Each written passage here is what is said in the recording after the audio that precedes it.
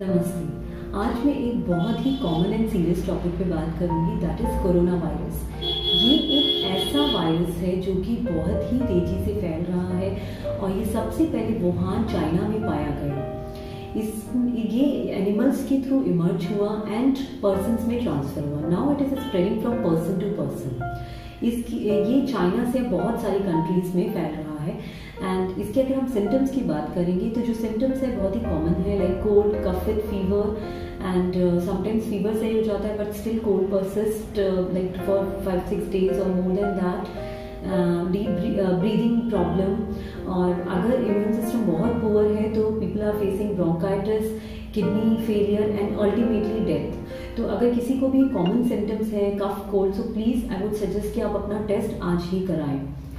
सो so, ये in fact I was reading the news day before yesterday so there was a headline India is among the top countries at high risk of corona virus so ये था day before yesterday and yesterday when I was reading in the news so front पे एक headline uh, थी which was the virus corona virus case been uh, reported in Kerala.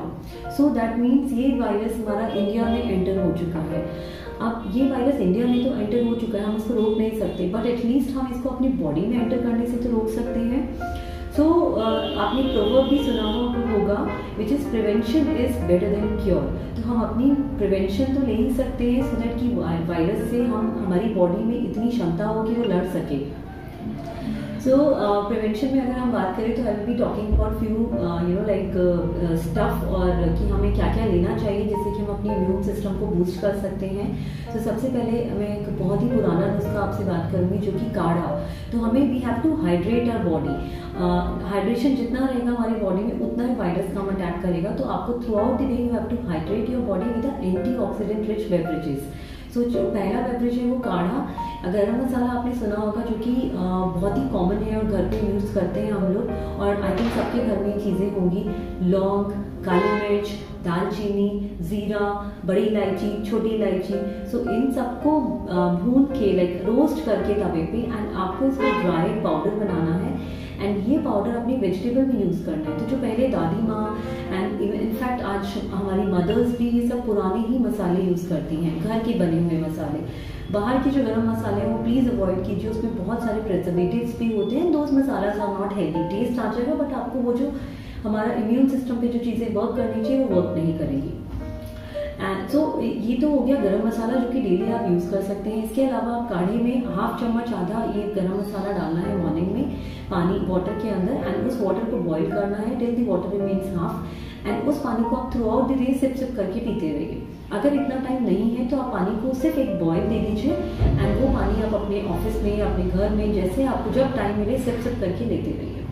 So, ये तो था पहला like एक नुस्खा इसके अलावा हम एंटीऑक्सीडेंट रिच बेवरेजेस जो और ले सकते हैं दैट इज़ वेजिटेबल जूस अगर किडनी का कोई इशू नहीं है तो please try to incorporate vegetable juice on a daily basis जो कि beetroot and colourful vegetables carrots and इसमें आप ग्रीन लिफी वेजिटेबल्स भी you can add like celery and mint leaves कड़ी पत्ता, और ये सब ऐड करके आपको एक वेजिटेबल जूस बनाना है, जो कि आप डेली लीजिए। इसमें वाइटामिन सी रिच आंवला जूस भी ऐड कीजिए, अगर आपके पास टाइम नहीं है वेजिटेबल जूस बनाने का या आपको नहीं मिल रहा कहीं पे शॉप पे तो आप इसमें आंवला जूस भी सिंपल लिख सकते हैं thirty M daily so that also works very well with the system and इसके अलावा हम न्यूट्रिएंट्स डेंस फ़ूड अगर खाएँगे लाइक नट्स हो गए सीड्स हो गए जो कि मेगा फैटी एसिड रिच हैं सो so, ये भी आप मिक्सचर ऑफ़ सीड्स बना के रख दीजिए. Seeds sunflower seeds pumpkin seeds almond walnut Brazil nuts pecan सब मिक्स करके बॉक्स में रख दीजिए.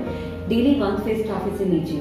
That is also very good in boosting your immune system and try to include more of colourful vegetables and fruits in in your daily routine then uh, ये तो थे हमारे uh, जो कि प्रिवेंशन एक और जो कि हम uh, और कर सकते हैं लाइक प्लेटलेट काउंट पे भी हम अपने वर्क कर सकते हैं। तो उसके लिए हमें ऐसी चीज़ें खानी जो कि प्लेटलेट्स को बढ़ाएगा जैसे कीवी हो गया पपाया हो गया गिंदा oil which is also very effective platelets को भी इम्प्रूव करेगा आपके इम्यून सिस्टम पे भी डायरेक्टली वर्क करता है। एंड अगर आप रात को सोने से पहले बिकॉज़ हमारे हम जब रात को सोते हैं, उस टाइम पे हमारा जो मेंटेनेंस है बॉडी का, वो बहुत फास्ट हो जाता है। तो उस टाइम पे अगर आप हल्दी की चाय लेके सोते हैं लाइक हल्दी टी सो वो आपकी इम्यून सिस्टम को बहुत स्ट्रॉन्ग करेगी।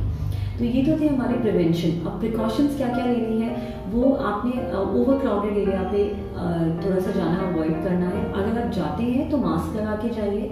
And wherever you're eating just wash your hands and try to avoid canned food ice cream इस मौसम में cold drinks and raw chicken अगर बहुत देर का कटा हुआ है रॉ सैलड्स हैं तो इन सबको थोड़ा सा अवॉइड करना है। तो ये तो थी सारी प्रिवेंशन कि आप कैसे अपनी बॉडी को प्रिवेंट करके और अपने इम्यून सिस्टम को बूस्ट कर सकते हैं।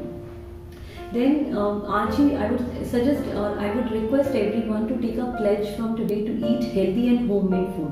तो ये अगर आप टिल मार्च एंड तक भी फॉलो कर लेंगे तो एटलीस्ट हमारा इम्यून सिस्टम बहुत स्ट्रांग हो जाएगा और हम इस वायरस के अटैक से बच सकते हैं So at the end of this video, I would uh, request and suggest everyone to pray for China so that he, uh, uh, from Lord Almighty to send warm weather so that this virus will not survive anymore. Thank you.